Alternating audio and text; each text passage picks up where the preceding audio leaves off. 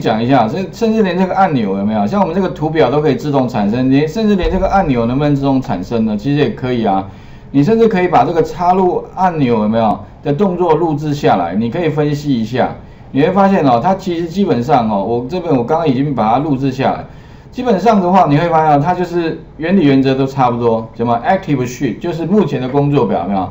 后面的话加一个 Buttons，有没有？我们刚刚是什么？那个叫 chat 有没有？就是哎我们刚刚录下来的东西的话，就是叫 chat 哈，那。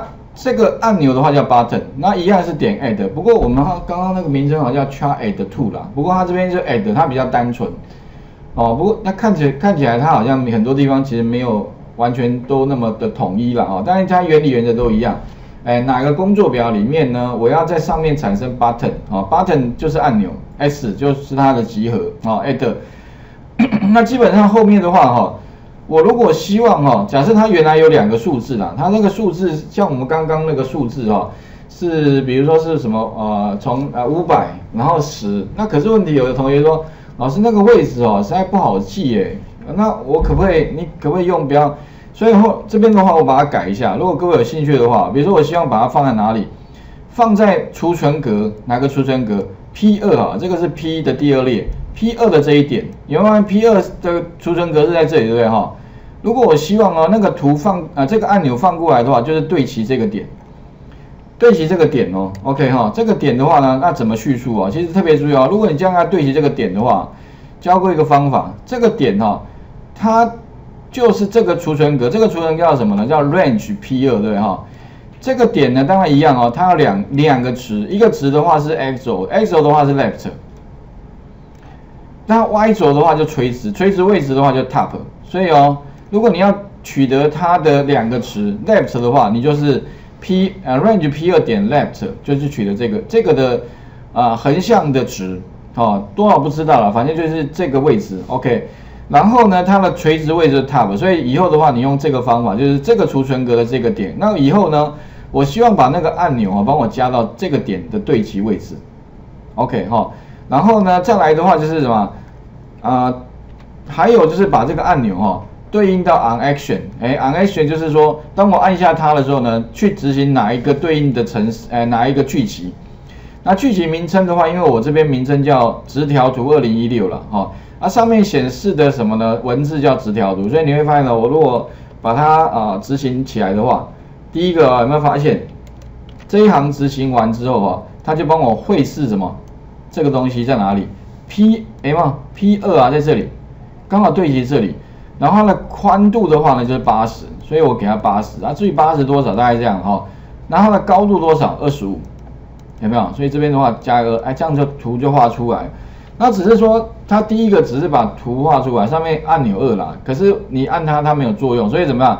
你要跟他讲说，当我按下这个按钮的时候呢，哈，它要对应到一个 sub 叫做直条图的。二零一六，那我们前面有写一个 sub 啊，资料二零六，所以对应给它。那上面的名称呢，也把它改一下，有没有直条图？哎，然后呢，再来下个按钮，下个按钮我对应对齐到 P 四好了，有没有啊？一样，大小一样是啊八十二十五哦，所以啊对齐对应到那个圆形图的二零一六，有没有？然后把它哎名称应该改成什么？改成圆形图，那没改到圆形图。OK 哈，然后把原这个改上去了，然后再来一个删图啊，对应到删图，然后上面名称也叫删图，OK，绘制出来了。所以以后啊，当然我是举个例子，以后只要所有的图了哈，通通都可以用同样的方法来完成。也就是你上面啊 V 等于有点像 VBA，可以很快的把 Excel 当画布一样，你要怎么快速一键按下去哦，你要让它变成什么样子都不是什么问题。OK 哈啊，所以哦，做完之后的话，我们来看一下删除，看一下，哎，会不会成功？按下它，哎，删掉了，直条图、圆形图就 OK 了。所以以后哈，你可以怎么样把图画完，然后你要自动，甚至可以自动让它产生按钮嘞，有没有？那按钮产生，反正你要按什么按什么，你就自己按一按吧，哦，OK。所以你要给老板的话，你说老板你自己按吧，啊啊，甚至啊，如果按钮很多个的话，都可以自动产生嘞，对不对哈？OK，所以应该。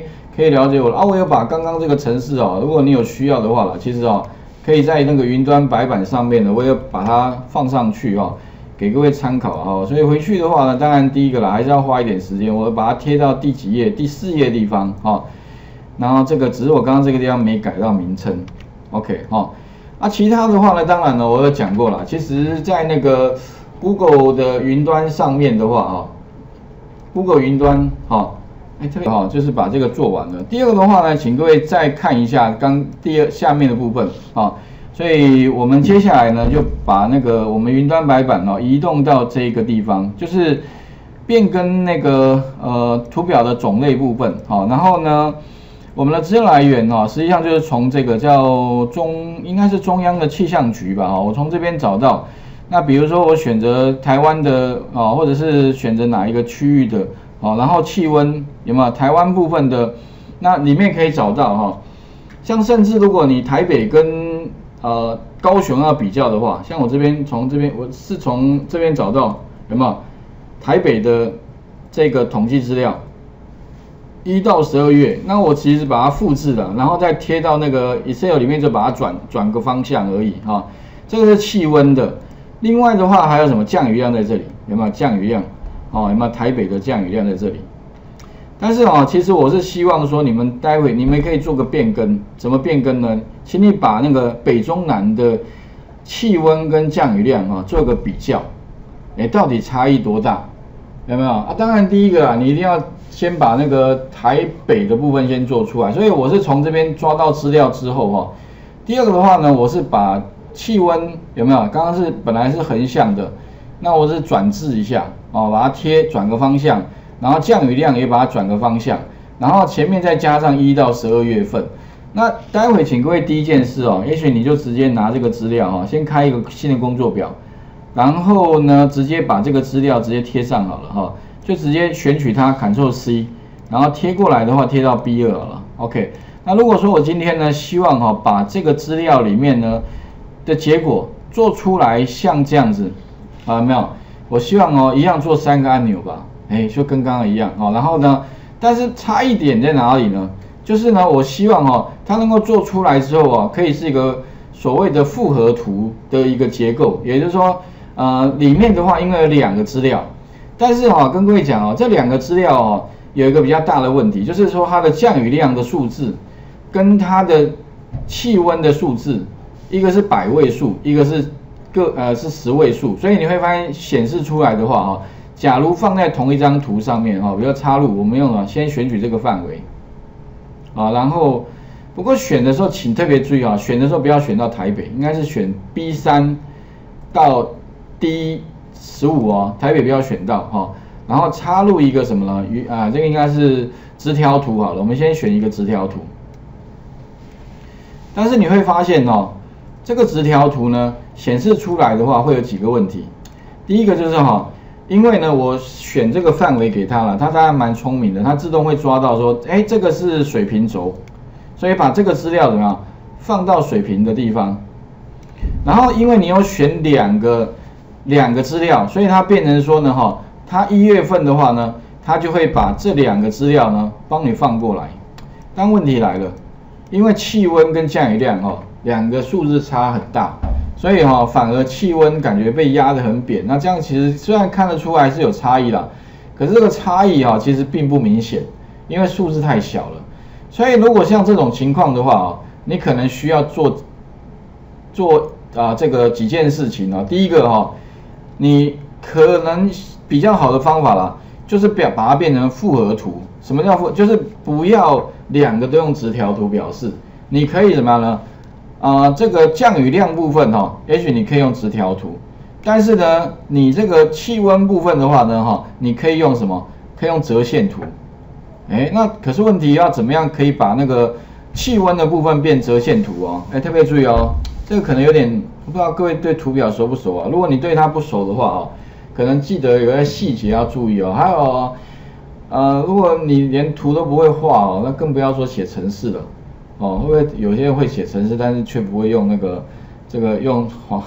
哎，那反而更厉害哈。OK，跳过去了啊。特别说怎么做啊？一，请你先选什么？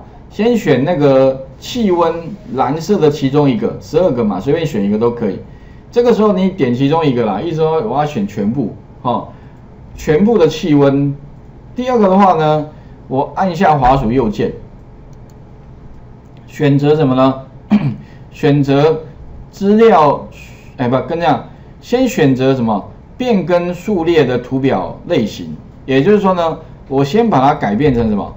改变成它这个地方就会跳出什么组合式，有没有？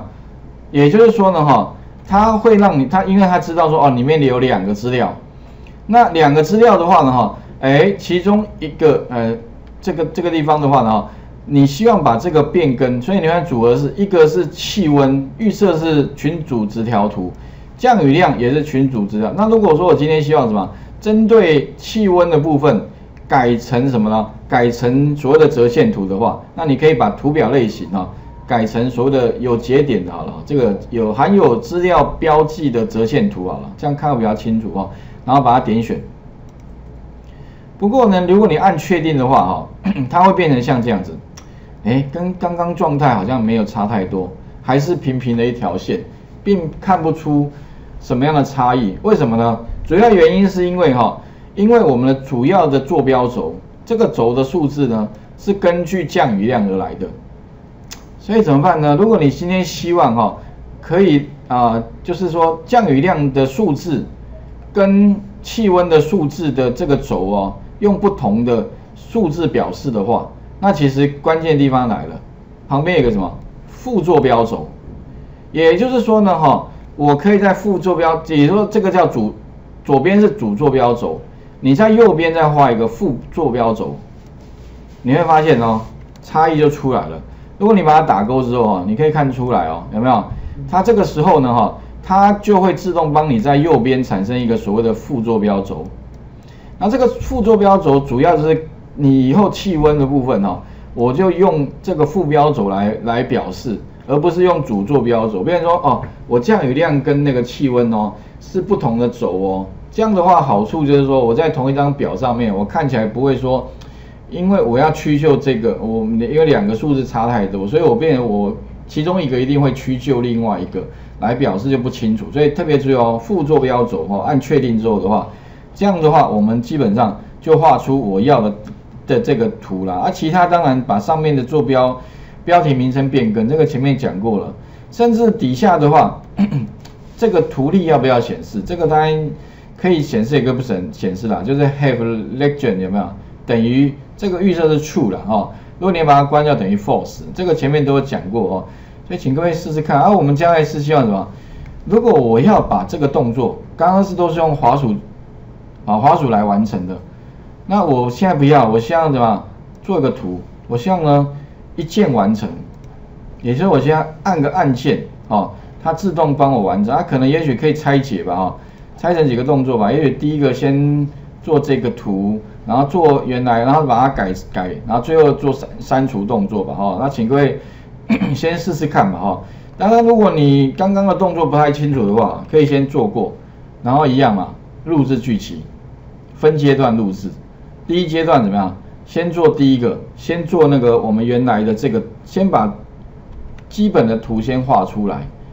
第二的话呢，再来怎么样？把它变更成什么？这叫什么？呃，叫组合视图。或者它叫复合图吧，反正这个一个名称的问题哈。然后最后的话呢，大概是这样的啊，请各位先试着把刚刚讲的部分呢，先完成。那我刚刚的资料放在哪里？放在 云端白板的第十页哈。